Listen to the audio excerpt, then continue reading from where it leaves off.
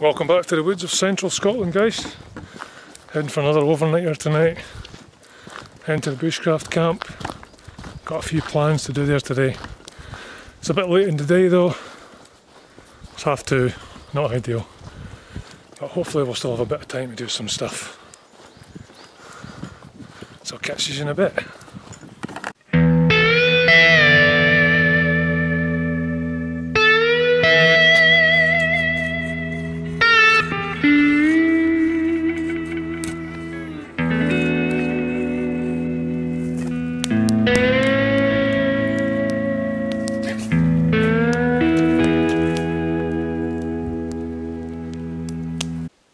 I've arrived at the camp now. I'm just going to have a look around, see how she's doing. So the roof's not looking too hot, but we're not going to have time to tackle the roof today. Now the plan today is I want to finish this fire reflector wall because it just looks terrible. I just haven't got around to it at all.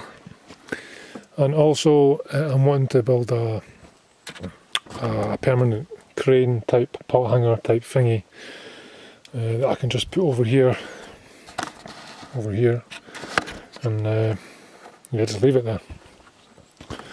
So I'll show you what I mean. I've actually came quite prepared today. You guys will get a laugh at this. So here you go. uh, I've made a line drawing of what I had in my head that I want to do. So upright pole. Uh, carve a, a section out of the wood there, a Y branch. So two Y branches, uh, lash the two here together. And the idea behind this is if we have this uh, carved out section on this upright pole, we can lash it here on the end of this Y branch and you know we can use it as a crane and we can swing it out of the way and swing it in when we want to use it. Over here, I might change this, but over here we just have a bit of paracord or a bit of cordage uh, a pot hook and the pot. Yeah, so I drew that the other day. The plan is to give this a bash today, so wish me luck. So I found a suitable dead standing tree guys. I've got a couple of new pieces of gear I want to share with you today. So you might get a laugh at this also. What do you think of this? One of these crappy aluminium saws you would buy at your local hardware store or whatever. So, as much as I like the Laplander guys, uh, I wanted a bigger saw to make life easier for cutting larger pieces of wood, especially for doing bushcraft projects and winter camping and stuff like that. So what's your thoughts on this? So, we all know the Boreal 21 exists, it's a thing, you know they're popular with certain guys, but man, the Boreal 21's like 70 bucks. This thing costs like 12 bucks. It's not very bushcrafty, but hey, it does the job. I've used it a couple of times, it's pretty good.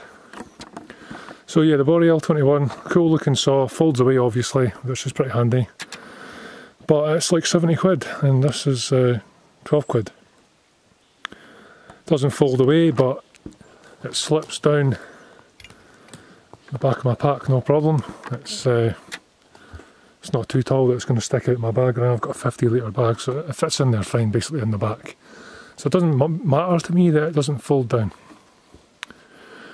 I mean uh, guys we get hung up on gear so much don't we? I'm not going to criticise people that like gear but we spend probably entirely too much time worrying about gear. Uh, knives especially. I own about 24 different knives, multi-tools and saws now, so I'm no exception to everyone else that likes their tools. But you know, I would like a, a fancy fold-away saw that costs 70 bucks, but how do I justify it? What's your thoughts? I mean, that costs 12 bucks does the exact same job, arguably the exact same job. And uh, not to be nitpicky, but the Boreal 21 is what, 500 grams? This stupid thing's 490 grams.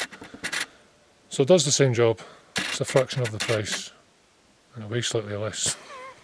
I don't know. I'll leave it up to you.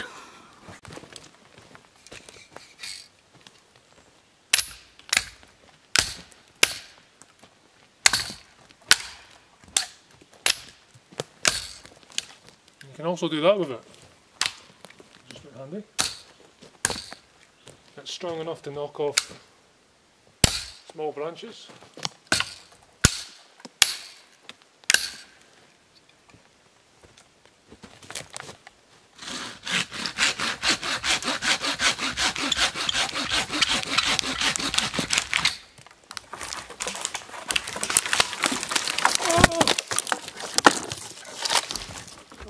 Close to the camera. Shit!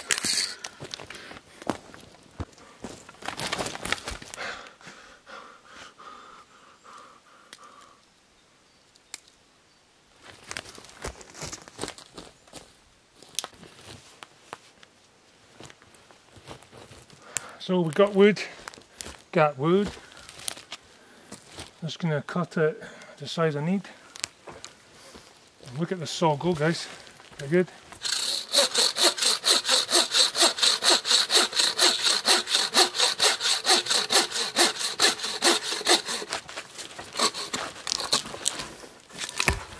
Not bad. Okay guys, I've cut a bit of wood to the size I think I need. So the plan now is to remove the material as in the drawing. So what I'm thinking is remove this material here. So we'll remove what an inch, half an inch and a half. Only needs to be wide enough for us to fit our Y branch in it, really. So I'm going to have to try and do this as quick as I can because I don't have as much day daytime left as I hoped. Yeah, so I'll just get the saw and I'll just try and cut this section out.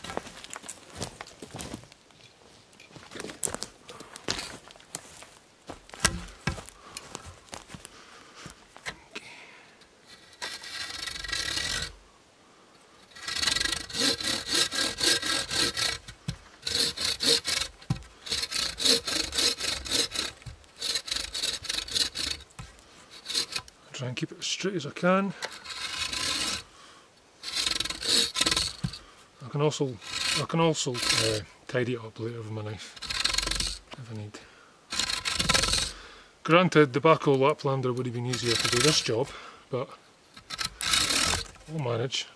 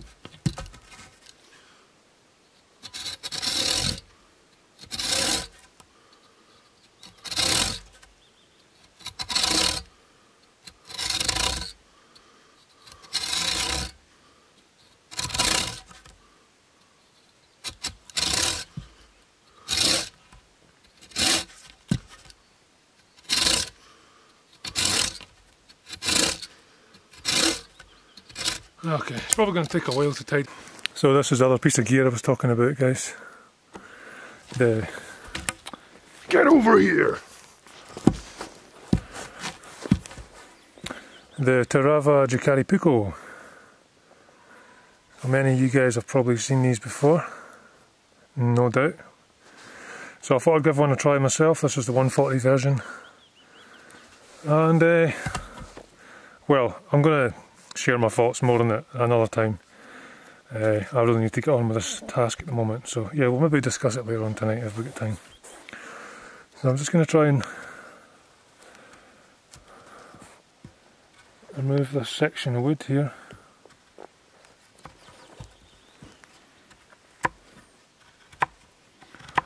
And this knife is doing a, a grand job at it.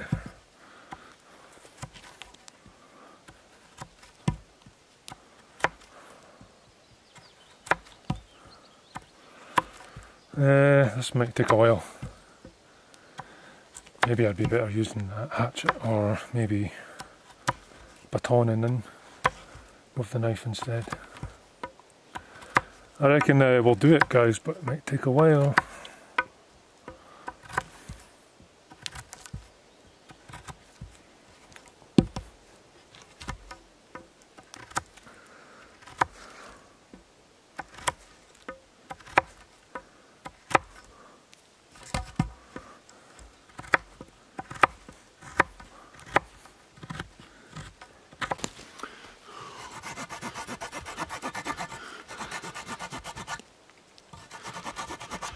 So I'm just using the saw and my Leatherman just to make this finer task a bit easier than that big saw.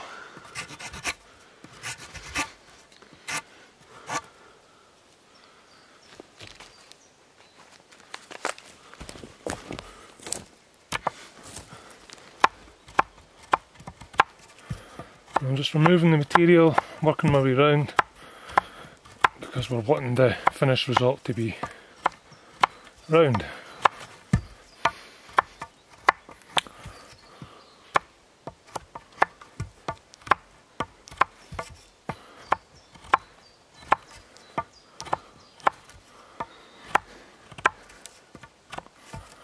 So we're definitely getting there.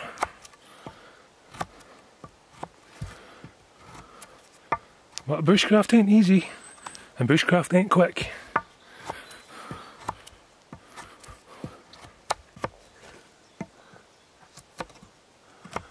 So the next challenge will be finding a nice Y branch, or a couple of Y branches. Find a couple of Y branches, cut them down, and then I don't know, I reckon this project might take an hour, hour and a half.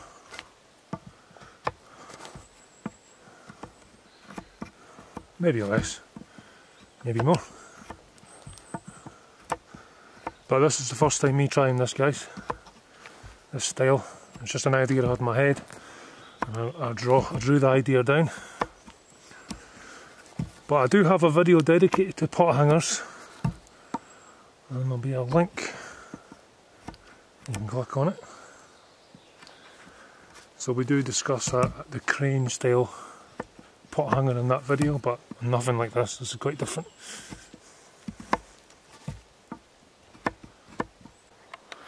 so I was actually struggling to fit the Jääkäripuukko in there just because it's so big so I'm just doing some finishing touches with the good old sidekick Leatherman. Yeah, so just really tidying it up now. What I think I might do is finish the pot hanger and then if I've got time later tonight when it's dark by the fire I can do some more work on it and clean it up a wee bit and make it look a bit better. But if I can just get it functioning and just make sure that it actually does function then we can do finishing touches later.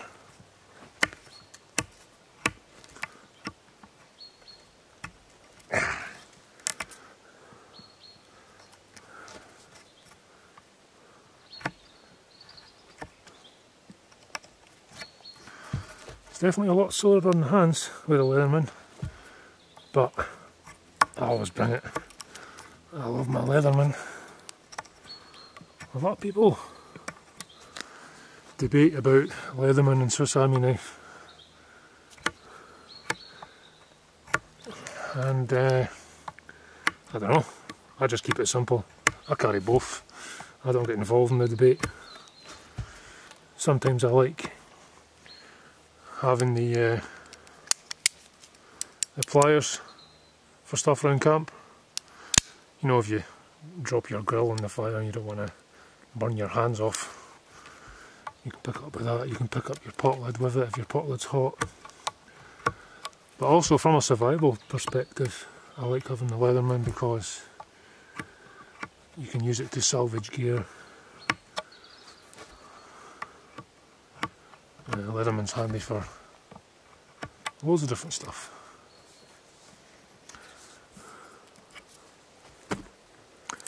So what I'm going to do is just chamfer the end of this because we're going to be batoning it into the ground. So I'm going to minimise the splitting of the wood. But yeah, I'm just doing this while I'm here.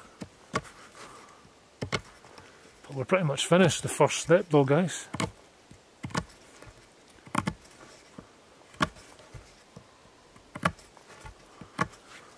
So in the world of Mors Kochanski survival, this is called a reduction, I believe, and it's from the, the, the tri-stick. So have you ever had a tri-stick? When I first had a tri-stick I had no idea what the hell it was. But it's essentially a, a stick and you you you practice your knife skills on it and you create different notches and uh, and things on the wood. And so this one is called a reduction. So that should work, hopefully. Alright guys, so I've got the I uh, got a spike on one end, hammered in the ground. So the plan now is found two Y branches. So one Y branch goes in there, another one goes in there like that. So lash that one here, lash that at the back here. And I think this might actually work. So guys, this is what I had in my head. So that Y branch would go through that reduction. And what I've done is a Canadian jam knot and I finished it with a clove hitch over here.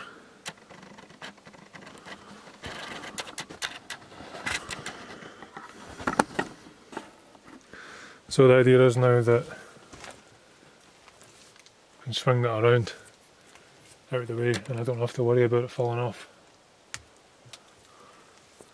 Just a wee bit extra security. All I need to do now is do the last bit here. So guys, we're pretty much done. So the last bit was lashing these two Y branches together. So that was probably the most awkward part, to be honest. Because you've got to try and kind of hold them at the same time and then keep the tension as you wrap it all the way around. So it's basically a, a round lashing guys, okay, so you start with a clove hitch and then just wrap it, wrap it, wrap it, wrap it and end with a clove hitch over here. So that's now three of these swings all the way around.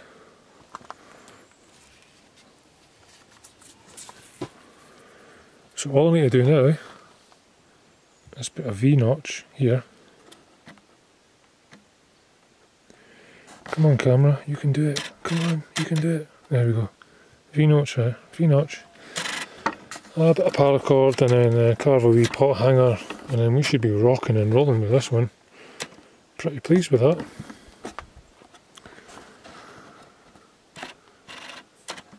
How's you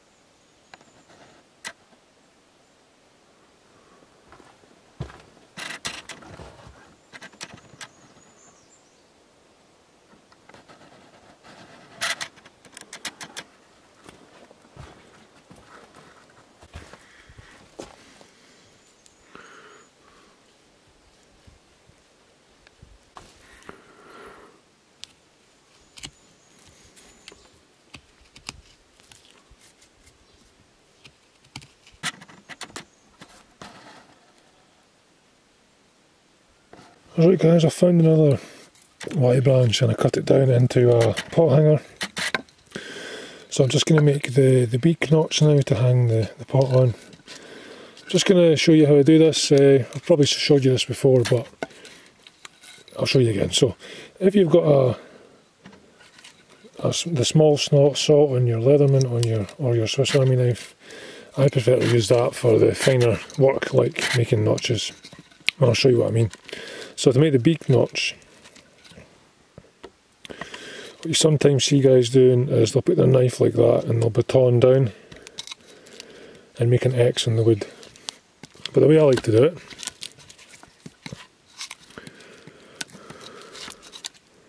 is with the saw. So the saws on your Leathermans and your Swiss Army knives are good for this.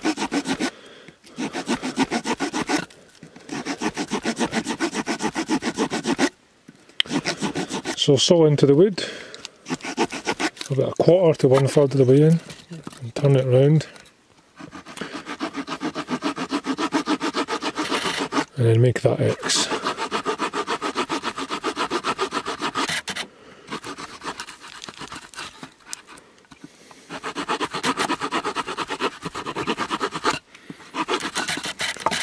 And turn it around and do it again if you need to.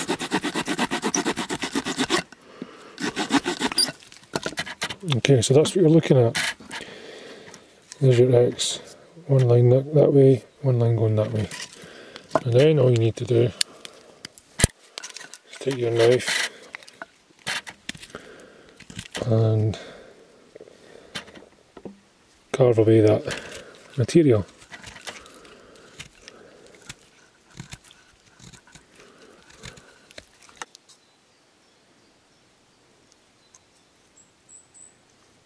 So guys, that's what you're looking for. You see we've got quite a pronounced peak shape in here. Now and that's going to hold our paracord easily. Well guys, I think we're done. So I did the V-notch, got a clove hitch on there. I've got an adjustable knot to raise and lower the pot. We've got our beak notch, our pot hook in the pot. And then when we're done, I can just hook that over there like that and just swing it completely out of the way. That's so cool. I'm pretty pleased with that.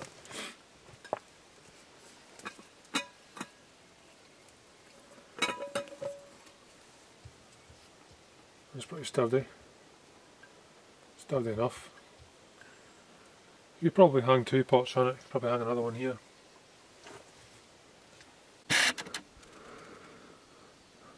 So how do you guys think I did? Not the best camera angle. Don't think the camera is doing it justice in this light, it's not great. But I believe I have rough, roughly actualised what was in my head. Or head. Well guys, that pot hanger worked out well. Thank God for all that work. It was quite a lot of work and uh, yeah, it was worth it, it seems. So The nights are getting longer now, so I'm going to get a fire on pretty soon. Hopefully we'll be able to eat my dinner while it's still daylight. That'll be good. I'm going to try out the pot hanger. I've collected a decent amount of wood so far. But I've not even got the hammock up yet, because I've just been so busy, so I better get on with that. Right, I finally got the hammock up, guys. Uh, I've been so busy today. I totally forgot to get around to it. anyway, uh, I've decided to put a pole at the front to raise the front end of the tarp so that I can hopefully get a view of the fire tonight when I'm in bed. Yeah, so the fire will be over there. So, stoke the fire up before I go to bed. Might get a wee view of it. What I did here was just carved a reduction on the end of that stick. Put a loop through it. And then I guide it out over here. Well there you go guys, we've got the soup on now. Paul hanger's working out fine.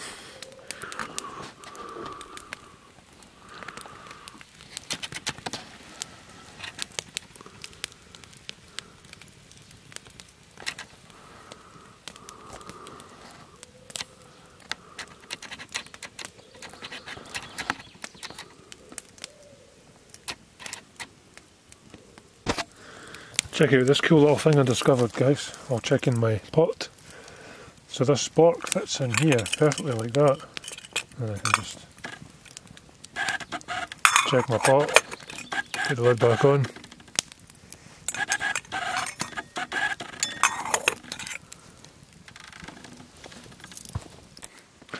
Let's have a look and see what's for dinner tonight then guys. So I've brought the zebra pot tonight. And I've got it absolutely jam packed with goodies. So I'll have a roll. Uh, see about that thing. Hmm, piece of candy. Hmm, piece of candy. I've got some veg. Some pistachios. I'm so hungry. Hmm, piece of candy. A potato. A second potato. Mm, piece of candy. Went off. Stock cube. Look at the colour of my hands. Wow. Hmm, piece of candy. So, apart from candy, yeah, more candy. I'm making soup tonight of that roll of it. Mm, piece of candy. Mm, piece of candy.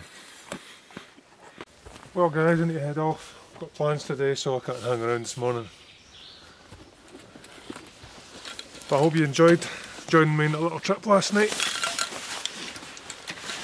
Lots of bushcraft happening.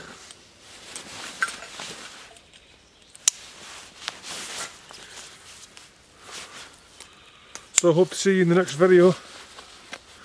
Take it easy guys.